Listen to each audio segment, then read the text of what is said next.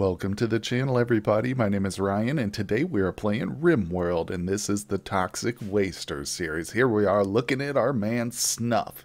He is the leader of the colony. He is married to Emma. There she is. I think she's, yeah, mining right now. Trying to find us some steel. We're really short on steel, but of course, the colony comprised is comprised of just all wasters.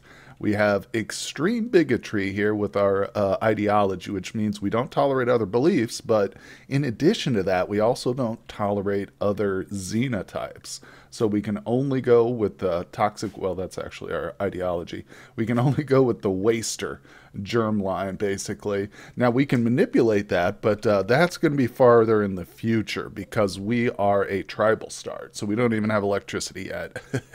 um, anyway, somebody commented, a couple people commented about the darkness mod that I had the realistic darkness mod installed, um, that it was hard to see, you know, that it didn't really work so well. So I went ahead and uninstalled that. Uh, we still have the fog of war. That, that one I definitely want to keep on. Uh, I want to experience the game with a fog of war aspect to it for sure. Now, the realistic darkness was kind of just for, you know, atmosphere. Uh, because we also have like the cosmic horrors mod installed and stuff but you know there are still some dark areas because it's it's you can't see it from the fog of war and it's in shadow like this area here so you know hopefully during raids and stuff that won't be too much of an issue because the fog of war will be opened out here at least so we can see but uh, as it stands, I also got another comment recommending um, maybe some slight changes to the schedule here because we've got, like I said, a tribal star, two of our people, Snuff and Hiroshi. They're able to come out here and pray. And if you look, we actually have a retexture pack for anima tree. This is a toxic anima tree, but we've got nine grass in progress. And as I said, that's all due to our two guys here. Um, Emma, fortunately, has a, not the right background, but uh, Snuff and Hiroshi, I think in order to reduce some of the walk time, here's what I'm going to do because it is kind of cutting into the work that they can do. Hiroshi, we're just going to set him to one session of the meditation. So he'll just recreate back in the colony, which isn't really far. But like I said, you know, early on when there's no good path to it and they've got a lot of other work to do because the whole colony rests on these, these three people's shoulders, it's a good adjustment, I think. Now, in addition, I was also thinking Snuff is a quick sleeper. I gave him the quick sleeper trait. So, what we can do probably with Snuff, in order to kind of compensate for losing out on those two hours with Hiroshi, we can cut into uh, Snuff's rest time a little bit. And I'm almost tempted to do that twice.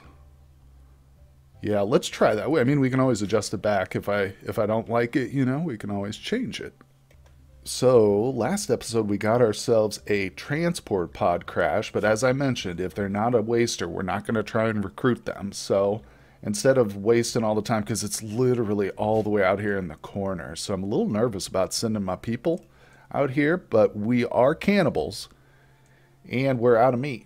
So we could definitely use some meat here. We now we are not totally out of food. Actually, that's a lie. I do have some pigs. We did go out there and get some pigs. So I'm nervous, but I think it's probably safe to send somebody out to go grab it. I guess Snuff.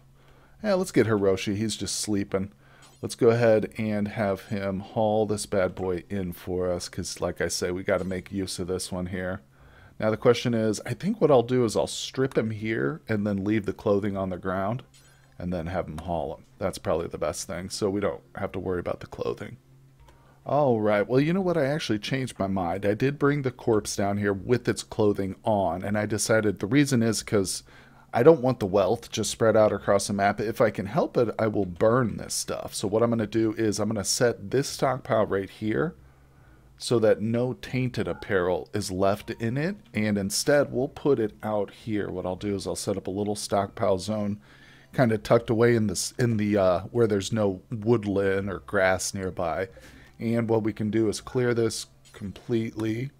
Let's bump that up to preferred.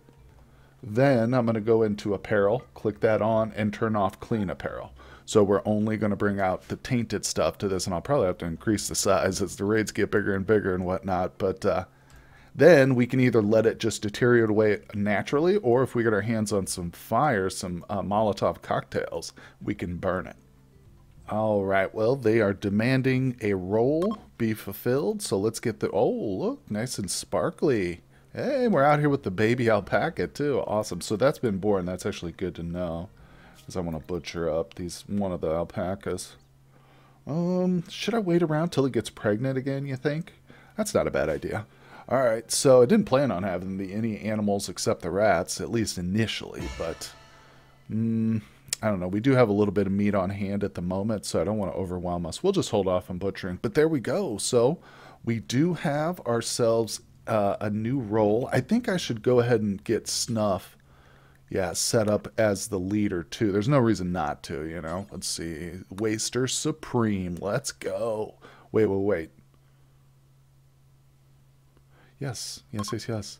As long as I'm doing the right person here. Let's see. Did we give it... Yep, she's a tox spreader. Okay, there we go. So we'll go with this one. Luckily, these don't take very long early on because I can go up to four levels of speed and blaze right through it. There we go. Awesome.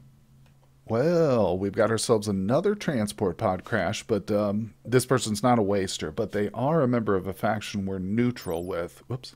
Yeah, the Intucia League or whatever. So I think we will go ahead and actually rescue them, heal them up, and get a little bit of influence for. They're pretty old, bad back and stuff. They do die in 20 hours, so we need to get something set up. But if I just do a quick and dirty sleeping spot right here, set that for medical, we will be set. Okay, well, this didn't take long at all. He's up and rock, walking now, albeit very, very slowly. He's at a 31% movement. Yikes. But uh, as soon as he gets off the edge of the map, should be good for about 12 to 15 faction influence. So we're on our way to some allies. Well, thanks to some of the drop pods we've gotten, we have built a human leather bedroll for the two lovers there, and I am very much hoping that she gets pregnant, because, I mean, that might be seriously one of the few ways we can really populate this colony is just through marriage and stuff. But, um, you know, of course, we'll get occasional wasters to recruit. Now, um, on a different subject, I have got to be really cautious about wealth here because I mean, this is a losing is fun run. It's not 500% scale difficulty, but I've still, like I say, we got to be cautious. So I am going to go ahead and I think we'll butcher up the two adults and leave the child till it grows up. So that will reduce wealth slightly, you know. There's no guarantee that we will succeed in this series for sure, especially early on, you know. You got to be extremely careful, play it smart. All right, let's go ahead and force her to do that one too. And, you know, like I said, it could end after two or three episodes. Well, not two, considering this is the third episode, but you get what I'm saying.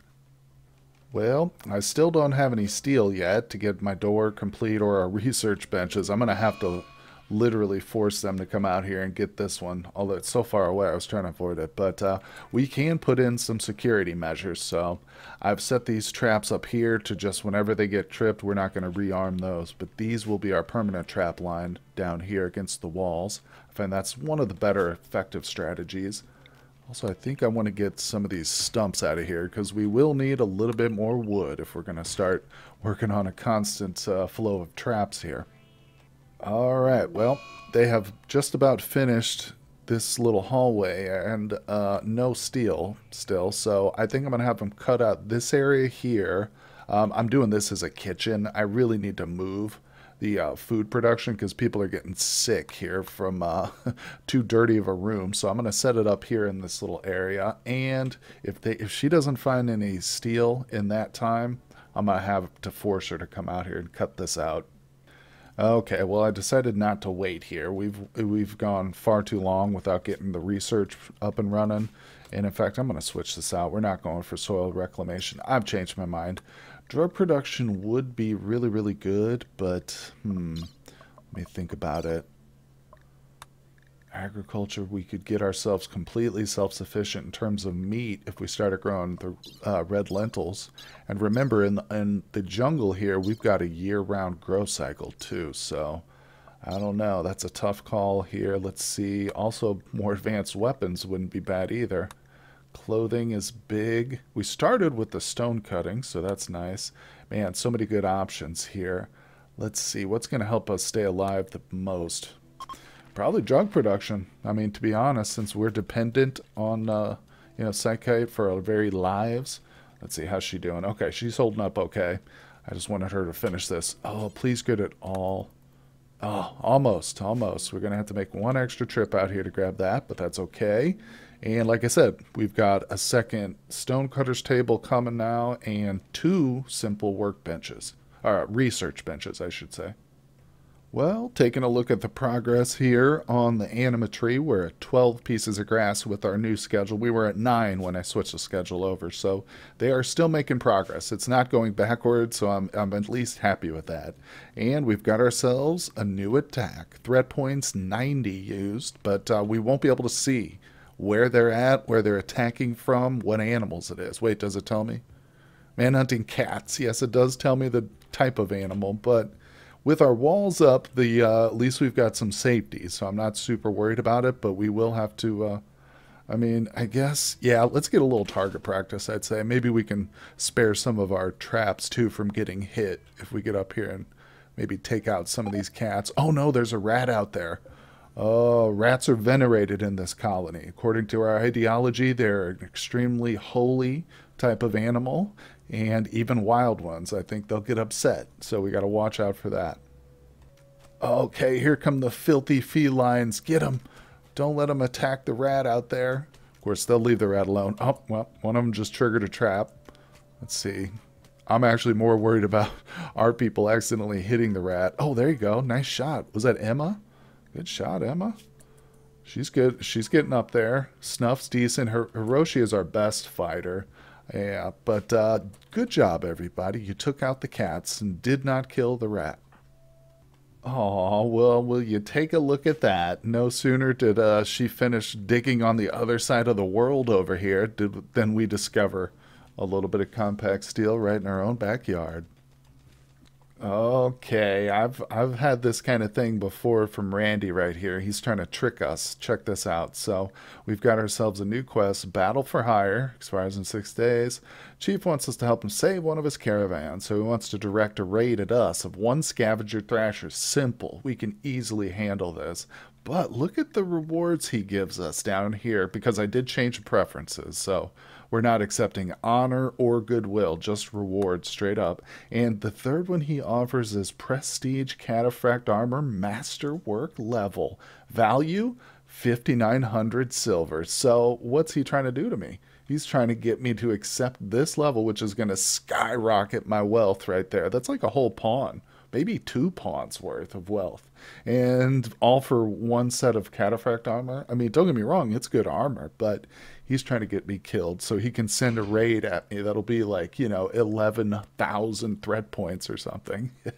so I'm just going to take the Glitter World medicine in the silver, and we will accept the quest because I like doing quests, especially when they're easy like that. But um, we're not falling for it, Randy. Oh, well, it's a little bit hard to see over here because it is in the fog of war and it's nighttime, so I apologize for visibility, but I'm going to mark this spot here on the map because we got an ambrosia sprout just popped up.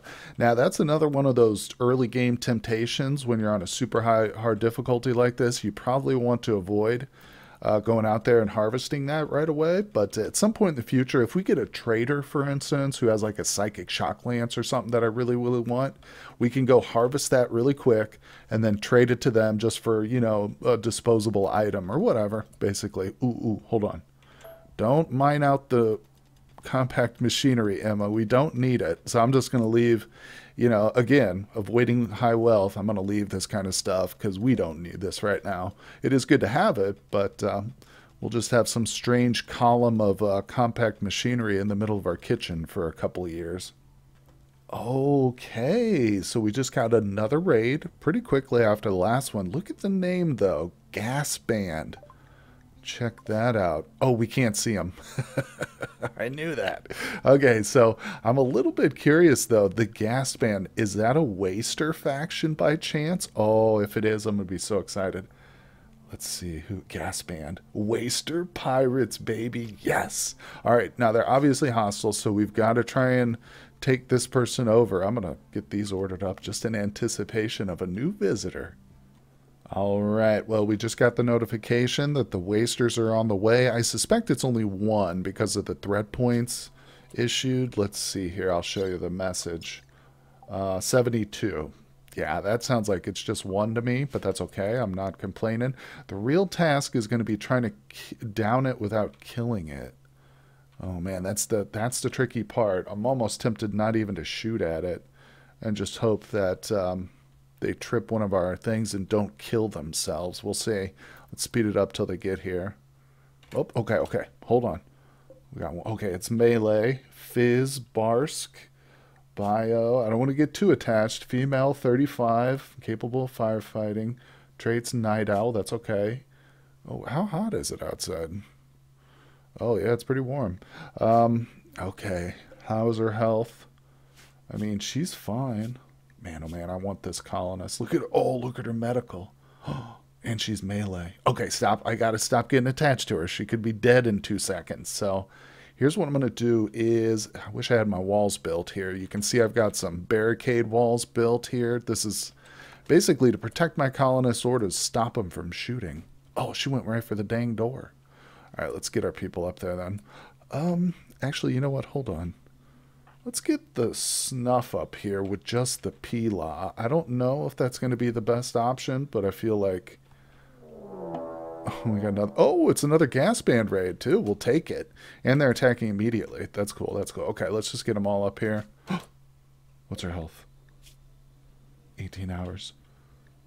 I'm nervous. Ah, mm. All right, let's just get them to chill out. Don't, don't, don't, don't, don't, don't shoot her. Okay, we can't really see what she's doing though.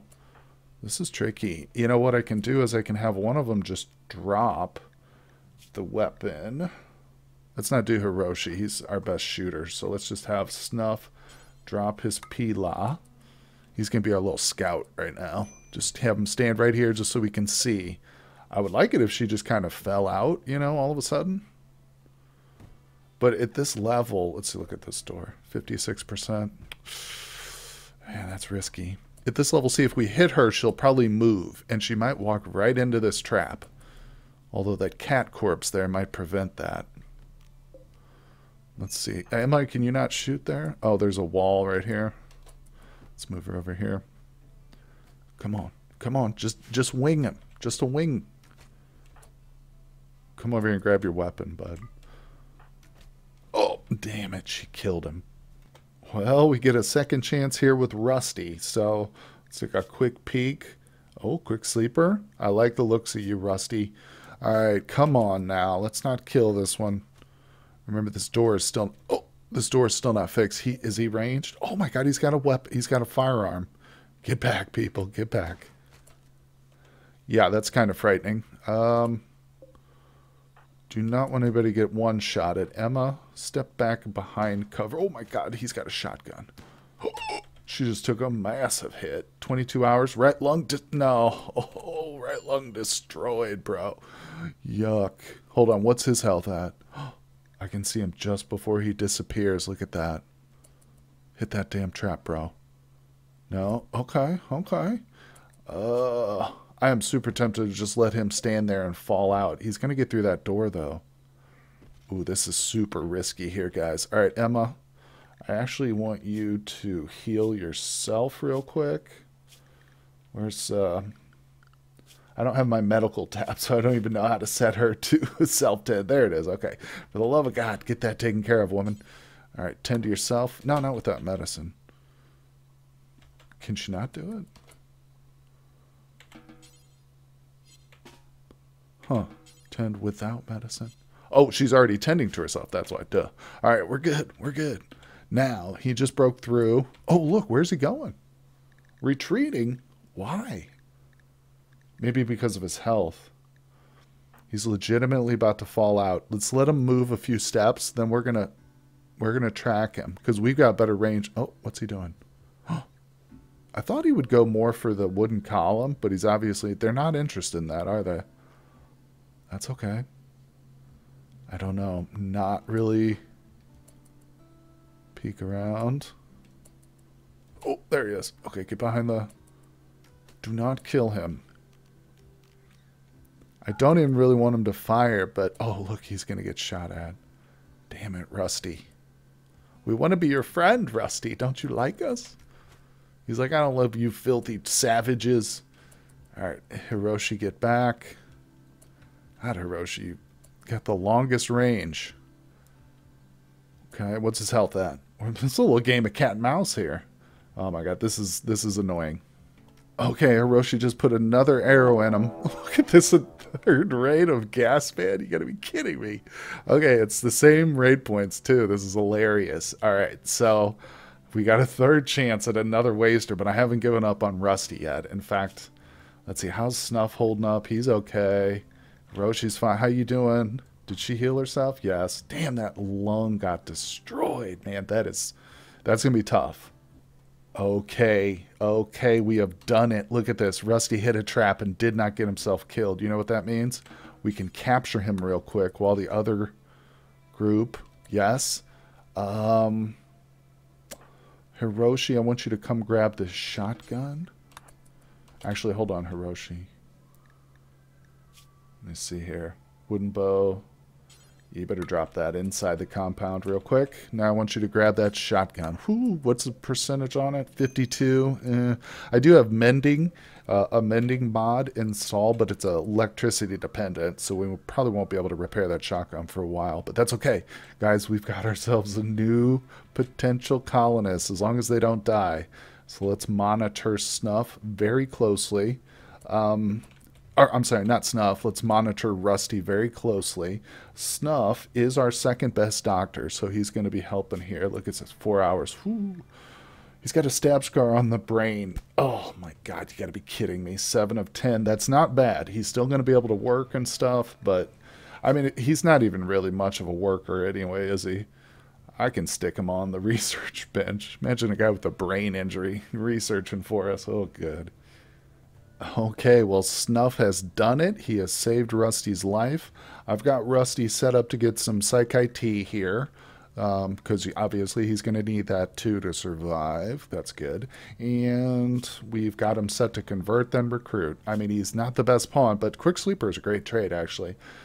I mean, he's a warrior. What more can I say? And he's got a brain scar. but he's he's going to be one of us, hopefully. Fingers crossed. Okay, well, Emma is injured. Hiroshi's got a shotgun, and Snuff's going to grab that other bow. And the other gas bag is on the way. Gas band. The other gas bander is on our way. Let's see what this person is. Hopefully, it's a female within breeding age because we're going to force them to marry Hiroshi. No, I'm kidding. But we are going to hope, fingers crossed. Oh, how she looks kind of old. 48. Mm. Yeah, you know, miracles can happen. Let's see here. Oh, she's a very decent pawn, though. Look at that planting. That would be so huge. I like this pawn. Yep, no health issues. Okay, she's melee. Yeah. All right, let's give her a chance to hit some of the uh, traps real quick. Let's see. It's a good thing about the wooden traps is they do often just injure. But they go right for that damn door, don't they? Hmm. That's actually not good for us. I really should get this front one. Oh, crap, there's two of them. Oh, I didn't even consider. Another good pawn, especially for our colony with the mining ideology and his ability. All right, let's put him over here. Oh, come on. See those? Mm, they're not hitting the traps. Damn it. These are actual solid walls, not embrasures, so that's why this door is so critical. I really messed up. I should have got that uh, replaced right away. But let's see. Oh, mm, damn. Well, that's what happens when you get shot in the back by a shotgun. Okay, Sun just got pegged. She's not dead, but that will. Oh, I thought that would help force her to move. You know, oh crap, she just broke down the doors. Okay. I need to um, reevaluate the way that I, I anticipate these pawns and their AI simply because with this Fog of War mod, I believe it also changes the combat AI too, so they are appearing to be a lot smarter than normal. They're not as predictable at least, so at least that's something. Definitely increasing the... Oh, yes! We did it! Son, you have a beautiful name. You're a beautiful girl. We are going to rescue you, even though you're ugly. I, I don't care. In my heart, I love you.